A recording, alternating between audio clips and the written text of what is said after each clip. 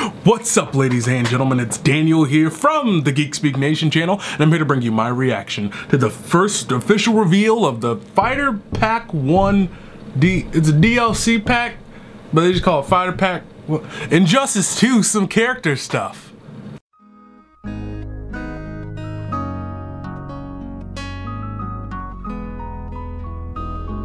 I, I, cannot explain how many times I messed up on the intro. Anyways, hey there. I know it's been a while since I've made a video, guys, but I'm uh, back again. Uh, it's during finals week right now uh, at school, so that's fun. Um, but I have a little break right now, and I was like, you know, I gotta catch up on some videos, uh, see what's been coming out lately because I don't know if you guys know this, but I, I, don't watch anything. If it's a trailer that drops, I don't watch it until I do a reaction to it for the most part. Um, but uh, coming out of the this break or hiatus I've been taking, one of the first things I see uh, is this Injustice 2, their fighter pack reveal, and our head is spoiled what characters are in there. Starfire, uh, we have uh, Sub-Zero, and then of course, Red Hood. I, I, I cannot explain how excited I am that Red Hood is in the game. Uh, this is really awesome. I know this trailer is only a minute, but I really hope we get an awesome glimpse at uh, what is going to be in store for Jason Todd, one of my favorite characters of all time, up there with Batman and Wolverine and Spider-Man.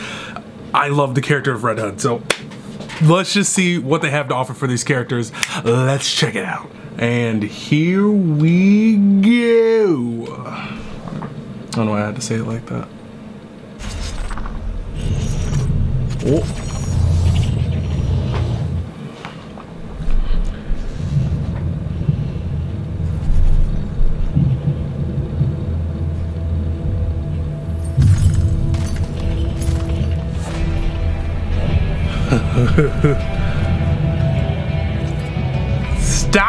Stop! Let's get it!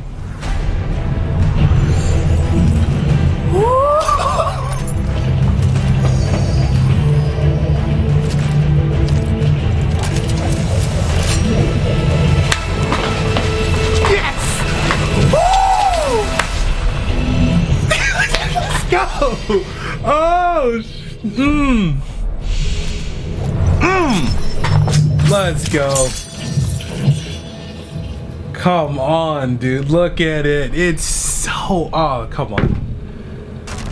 What, Mantis? Oh! The little image they had back there hinted at the other characters. I saw Mantis. I saw uh, Raiden. Raiden's silhouette it looked like.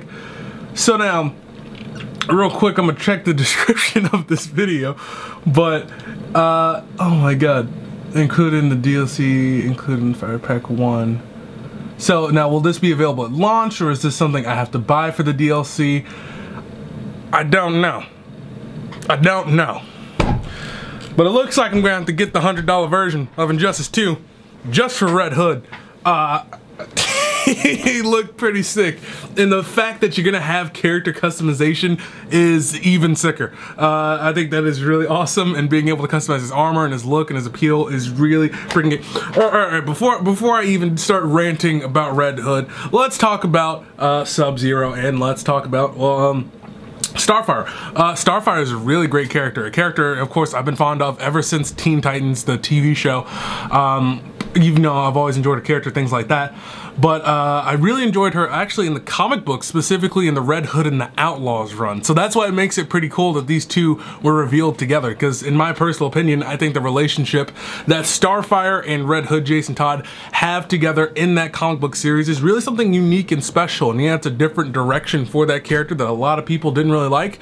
But I think once you look past the general like, ooh, she's just a sexualized character, I think there's more depth and a lot more uh, uh, development development than people really realize. That uh, I think I believe Lobdell is his name. The, the creator of that is, is, escaping my mind, but I highly recommend you guys read Red Hood and the Outlaws. I think it's a really great comic book run, uh, really good stuff, and Starfire really does get some time to shine, especially in that second story arc when it gets involved with her lineage and her sister. Really cool stuff. We didn't get gameplay, that's very unfortunate, but I'm really excited uh, about that and just to see how these characters are going to look and how they're going to play out and things of that nature. What, what kind of uh, uh, characters are they going to play as? Um, I can already imagine Starfire being a very strong uh, mid to long range character, uh, kind of like uh, Firestorm and that sensibility uh, and just seeing Red Hood just being a really good up and close to mid-range character really being able to keep people on their toes with the guns and making sure they're always staying off balance but at the same time really being able to get in with some awesome close quarters combat. Be even better if they include the knife that he has as well. That would be incredible if they do that too. Um, so with that being said my thoughts on Sub-Zero eh eh I know they always include uh, a, a, legacy character from Mortal Kombat and from now on into these other games, but I, I'm not quite sure how I feel about it. I think, yeah, Sub-Zero is cool, he's classic, but I don't know, something about when they port over those Mortal Kombat characters, they are just so annoying and so just uh, broken in a sense in the way they fit into the, the core structure of gameplay of the Injustice games. Like I really did not like Scorpion. I think he had a lot of cheap moves, honestly, and I just I just found him frustrating to deal with and play against. But that's just my personal opinion. I'm not too big of a fan or too keen on Sub-Zero being in the game, but nevertheless, guys, I, I don't think it's the worst thing in the world. But I don't know if you guys are as excited as I am about this, but holy crap! We have Red Hood coming to Injustice 2. Guys, it doesn't get any better than this. Come on, guys. This is this is pretty rad. I mean, unless you just don't like Red Hood at all and you're not excited, then that's very unfortunate. And I'm sorry for you. But nevertheless, guys, I am enthralled words beyond description. Plus, I've been up for a very long time. I'm tired and finals and all that stuff. But uh, my mind is scrambled. But I am still excited to be able to pick up Injustice 2, especially once I get out for this semester. Because my God, has it been a pain. Well, guys, thank you so much for watching. Either way, let me know what you think about these characters being revealed for DLC Pack 1 or the Fighter Pack 1, however you want to describe it. Actually, instead of just buying the whole DLC pack, I might just buy Red Hood individually.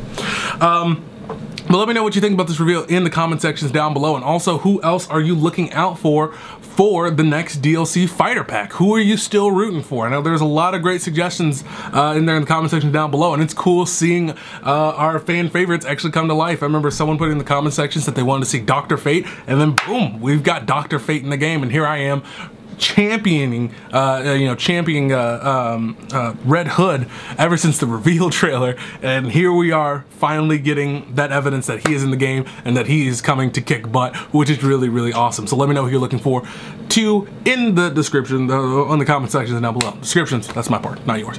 Anyways, thank you so much for watching, guys. If you liked my reaction and my review, feel free to go ahead down there and hit that like button. If you did not, eh, it's all right. But if you're new here and you like the content, content, eh, maybe subscribe. It's free. Why not? Thank you guys so much for watching. I really appreciate your time. Don't forget to leave your thoughts down below. I've been Daniel, and don't forget to get geeky.